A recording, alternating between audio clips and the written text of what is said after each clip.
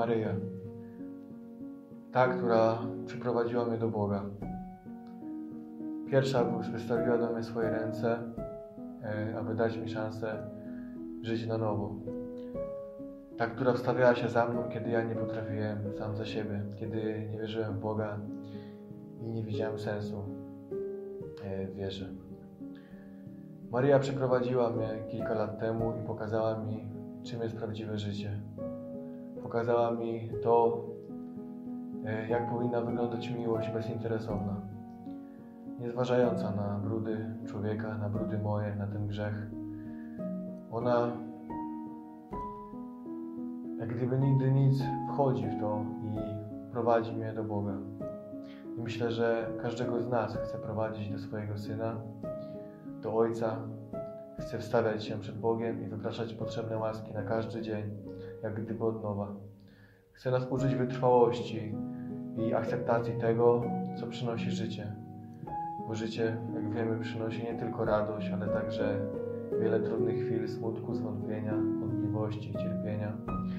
Maryja zarówno w chwilach dobrych, łatwych, radosnych, przyjemnych, jak i w tych najtrudniejszych jest przy Bogu, jest przy każdym z nas i uczy nas tego, jak żyć w posłuszeństwie, jak mówić tak na to, co mnie spotyka, jak mówić tak każdego dnia od nowa, jak walczyć, jak odkrywać sens właśnie przede wszystkim w tych trudnych chwilach, które Bóg, które dzieją się w naszym życiu i z których także Bóg chce wyprowadzić dobro, które także może kiedyś okażą się, że jednak y, wiele sensu w tym było i było to wszystko po coś.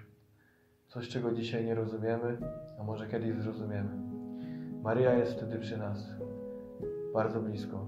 I myślę, że w czasie tego Adwentu chcę, abyśmy potrafili nieco uspokoić gonitwę myśli, troszeczkę zwolnili od tego wszystkiego, co dzieje się dookoła, abyśmy skupili swoją uwagę, skupili w ciszy, kontemplacji na Bogu.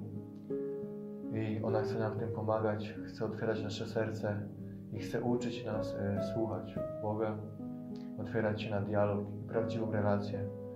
Bo to w prawdziwej relacji z Bogiem e, jest istota religijności chrześcijaństwa.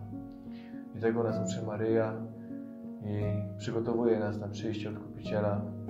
Także otwierajmy nasze serca e, na przyjście Zbawiciela i uczmy się cierpliwości i odcięciu od y, nadmiaru bodźcy, abyśmy nie byli przebodźcowani, abyśmy mogli zrobić miejsce w naszym sercu dla Boga.